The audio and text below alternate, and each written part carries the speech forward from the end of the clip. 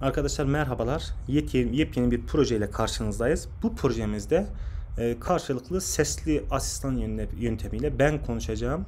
E, ChatGPT'de arka planda yapay zeka ile gerekli cevabı alacak ve o da benimle konuşacak yani. E, burada yani speech to text ve ChatGPT daha sonra da text to speech yöntemiyle karşılıklı e, paslaşacağız. Şimdi hemen başlayalım isterseniz. Şöyle projeyi çalıştıracağız. Merhaba.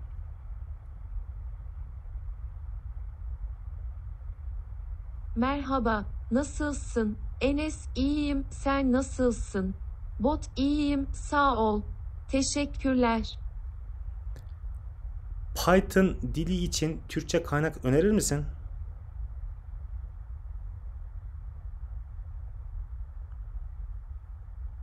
Elbette. Türk Dil Kurumu'nun web sitesi özellikle Türkçe kaynaklar için harika bir kaynak.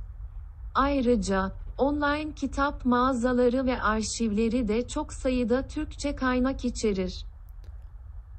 Ben Python dilini sormuştum.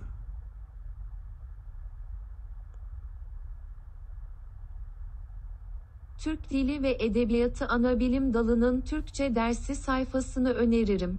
Burada Türkçe dilini öğrenmek için çok sayıda kaynak bulabilirsiniz. Java dili hakkında bilgi verir misin?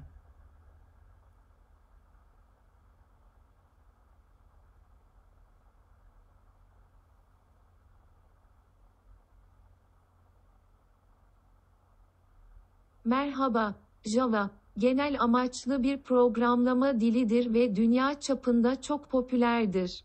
Java, internet üzerindeki oyunlar, masaüstü uygulamalar, veri tabanı ve mobil uygulamalar gibi çeşitli türde projelere kolaylıkla uygulanabilen bir dil olarak kullanılır. Java, kodun kolayca anlaşılır olmasını ve aynı zamanda daha hızlı çalışmasını kolaylaştıran çok önemli bir programlama dili olarak kabul edilir.